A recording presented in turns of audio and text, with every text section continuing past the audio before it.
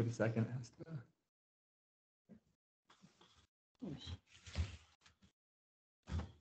Okay, recording started. All set? Okay, it's seven oh five PM, March twenty-first, twenty twenty-three, in City Hall, one forty Main Street, Torrington, Connecticut. Time to call the City of Torrington Inland Wetlands Commission to order. Serving on the commission this evening are members Emily Jury, Joe Paganini, Carl Hunter, myself, Jay Bate. Also present is Nate Nardi Cyrus, Inland Wetlands Enforcement Officer and Assistant City Planner. I mean, Adrian. Oh, And Adrian Barbie just arrived also. Uh,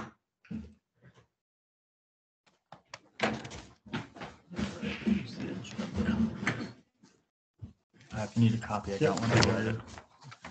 Okay, next on the agenda is the minutes for approval for the January 24th, 2023 meeting. I Have a motion to accept. I'll make a motion to accept the minutes as they are. I Have a second? I'll second. Motion and second, all in favor? Aye. Aye. Aye. Motion carries. Emily, you said aye? Yes. Okay. Next, old business none. New business applicant Eric Bayes and Alexis Waite. Location 435 Notting Hill Gate, activity erect fence within regulated area. Uh, And I can give a little bit of background um, before we hear from Alexis, but so this arose from a kind of combined zoning and wetlands enforcement action. Um, I was doing inspections up, up in that area and noted that there was uh, some uh, animal coops turned out to be rabbit hutches um, and some fencing and uh, some, you know, minor fill material in a mapped wetland for that subdivision up there. Um, So I sent a notice um, immediately. Um, These folks got back to me, um, Eric Bass, and um, we walked the site. Um, They agreed to remove the the hutches, move them out of the wetland. Those are out of the wetland at this point. Um, The only thing remains is the beginning of a a split rail fence that started to be erected. Um, And so they requested to be able to submit a permit application to be able to uh, keep that fence in the, uh, within the mapped wetland area. And I can share my screen and I'll just put their application up um, for everyone to see.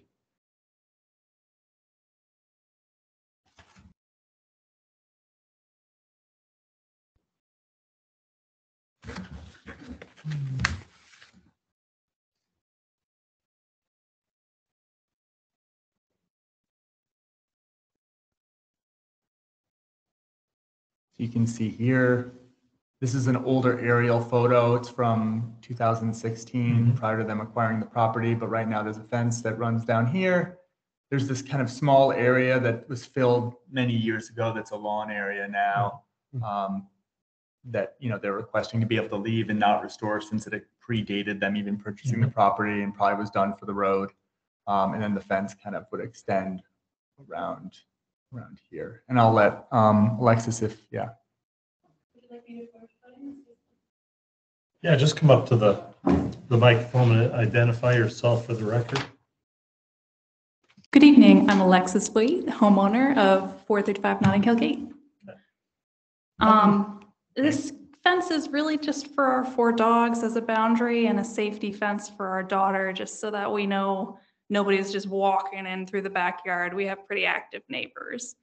Uh, It does help safety-wise so that the dogs don't wander off of our property. Um, it- It doesn't affect or change the land whatsoever. Um, it'll remain however wetland it normally is. Now, between your, uh, that map where the wetlands is, is that all woods or is that just lawn now?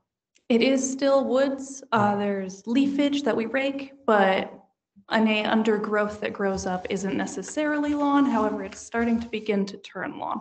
So it's just basically scrubby? Yeah, Yeah. it's like uh, some rose, old rose bush, thorn, briar patch kind of stuff that grows in. And I don't have the application I guess the full maps weren't included with their application, but that's just a cleaner aerial shot. It's really just forest. Okay. How, how many feet long is it? I think I put on the application, or no, I think I put it in my memo. Uh, 120 feet approximately. And it's wooden? Yes, That's a good condition. They just put it up, so uh, yeah. it It looks is great. very healthy, yes. Fresh wood. I paused the painting of it because I didn't want to paint it and then have it taken down. So I'll share with everyone, I took, I took a picture today. This will be part of the record, the file, but this is, you know, they- like I said, they removed the, um, the rabbit hutches out of there. It's really Mhm. just, um, natural at this point. Who did the labor? God bless you. Thank you. I like physical work. And in case there's questions, maple syruping is an as of right activity. um, within the Yeah, we just wetland. did that yesterday. Yeah, I saw those bags.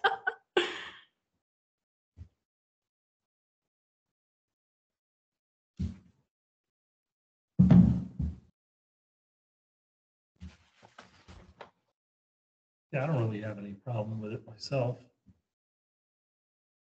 No, same. I don't have any problems with that. So procedurally, we would have to accept formally, make a motion to formally accept the application today, and then we'd have to make a determination of significance, whether or not this requires a public hearing. Um, And so, That's okay, I'll make the uh, motion of Yeah, acceptance. wait, Christine just got here, so let's just. Hello. Christine. Christine Altman just arrived. How are you? It's about seven oh nine. Might as well uh, give Christine the, the quick update on this Thank you. application. would you, would would you like me to just do it? Yeah, Yeah, yeah, sure. just do a Okay. quick.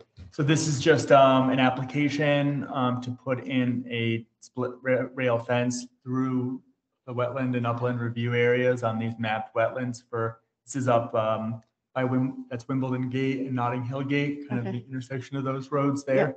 Um, There was a, this was part of a zoning enforcement action um, and the applicants removed rabbit hutches that were a part of that and moved them out of the wetland. So right now it's currently just the beginnings of a split rail fence. Okay, Um, I'll show you the picture of it. Got it. If have some information.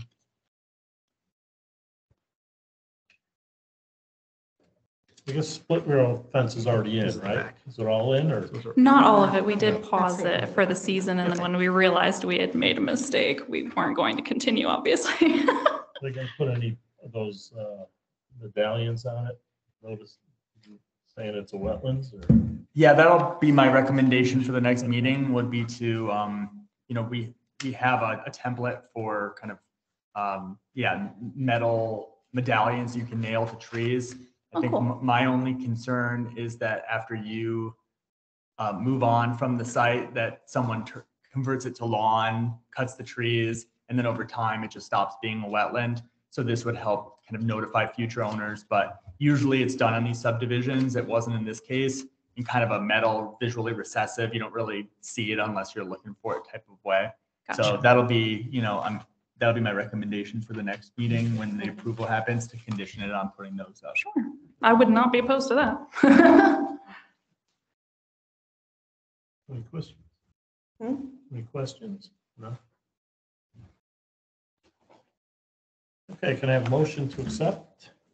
Can I look at your agenda here. So. It's this January, this the is the minis, most- Okay.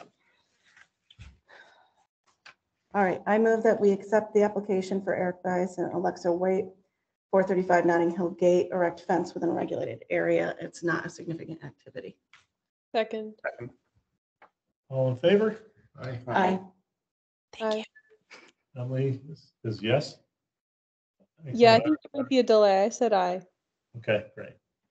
Okay, motion carries. Okay, you're all set till next Thank you, such kind people. month. Okay, next, Oh, I'm sorry, I just want to uh, let her know. So we'll send you an email with the, the link for next month's meeting so that, you know, you can attend for that decision as well. But we'll follow up with that. All right, great. Okay, next is staff report. Enforcement report, one thirty-seven Babbling Brook Road. Okay, so yeah, this is a, uh, and started it as an, a zoning enforcement action, um, for an illegal barn structure that was, uh, erected and then, you know, on a, on investigation, we noted that the, um, there was a perennial stream that was, um, buried and piped about two hundred feet, um, and then the area around it drained to create a lawn without a permit.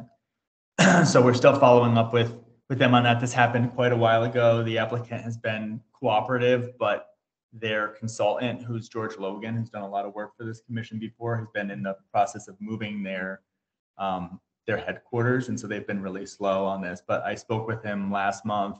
He understands, I think he, the, the landowner didn't fully communicate with him kind of what we wanted out of an application, and so I talked directly to, um, to their restoration consultant, and he, you know, understands what he has to do and said he would get us a, an application by not this meeting, but the next meeting. Okay. So it seemed reasonable to me. That's good. Um, one thirty-one Woodbine Street, this was, um, this is kind of by the Winchester on Wolcott, uh, like at the intersection of Wolcott Ave and, uh, or Wolcott Street and Woodbine Street.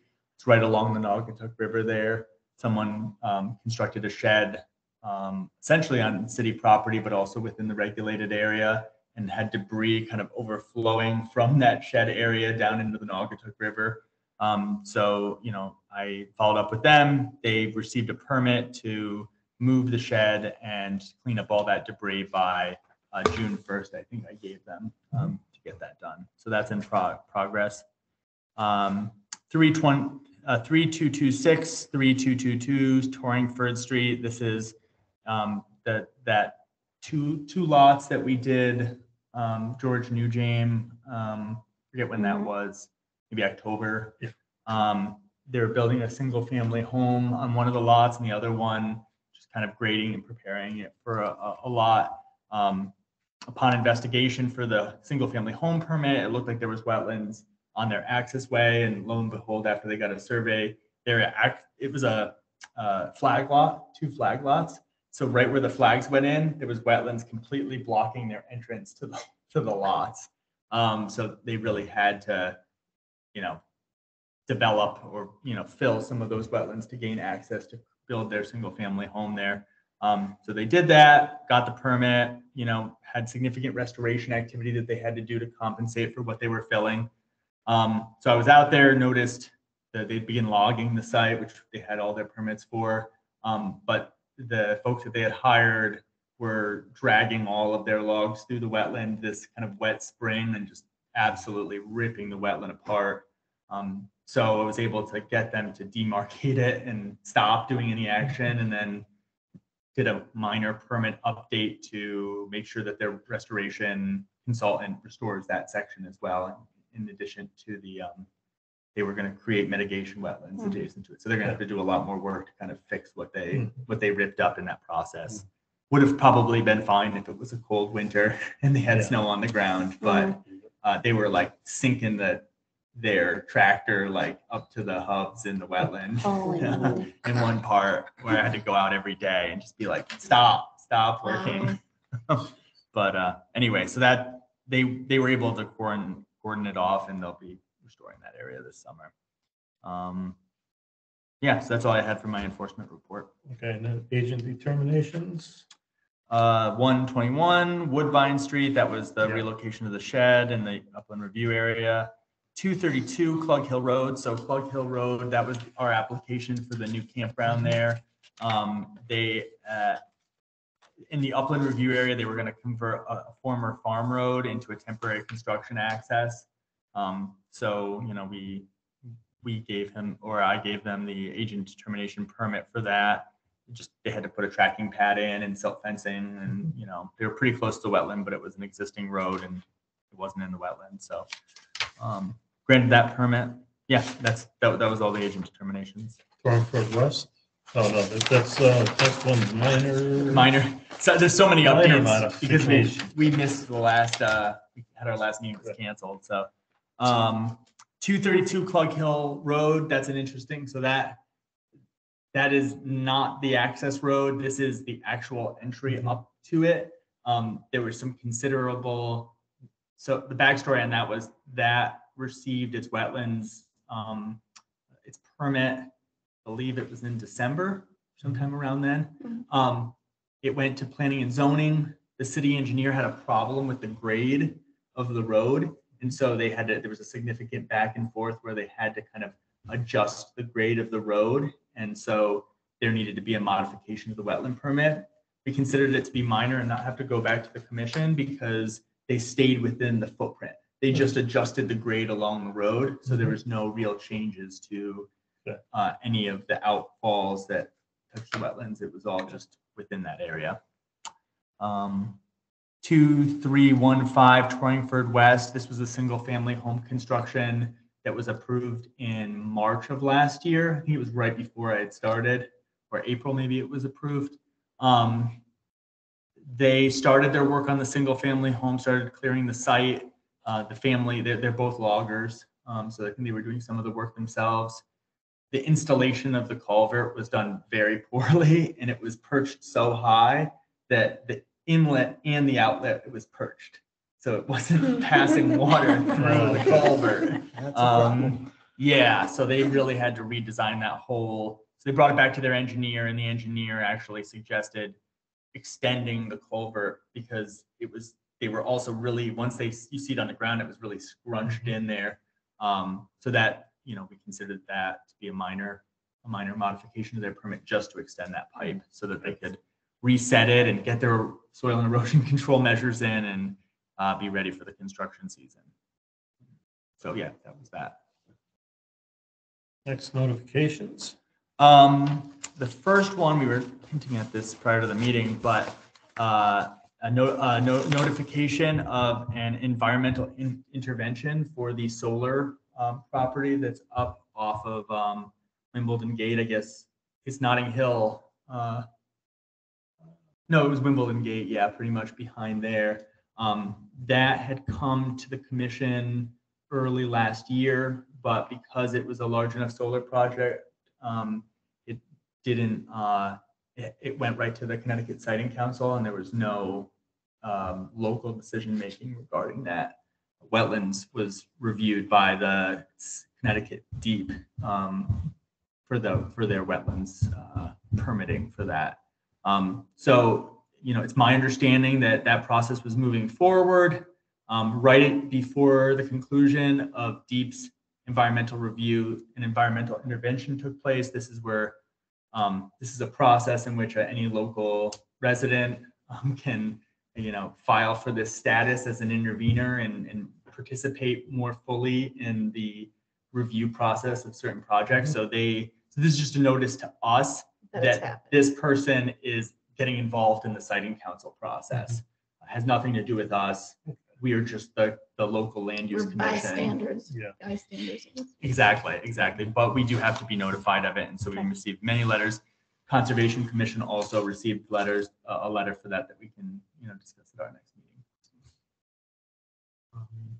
And then the final thing, Torrington uh, Water Company sent us a notice of dam maintenance. So that is a, an exempted activity where they don't require any approval for us, but they're doing work up at the Reuben Hart Reservoir there. They're going to be drilling cores into the dam itself um, to assess its stability and then a little bit of downstream work to just um, whatever structural uh, dam engineers do to make sure that the dams don't fail. Um, so, you know, I signed off on it that we would not require a permit and um, they sent a specific DEEP um, form that we had to sign off on. So uh, in the past for these types of things, I've made folks come before the commission for a jurisdictional determination.